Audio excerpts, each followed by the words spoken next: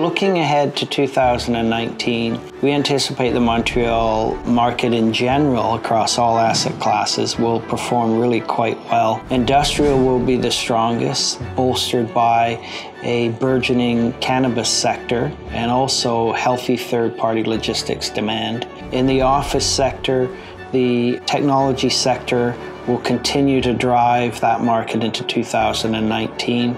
Multi residential, strong demand, and limited supply will also continue into 2019, allowing owners to continue to bolster their bottom lines.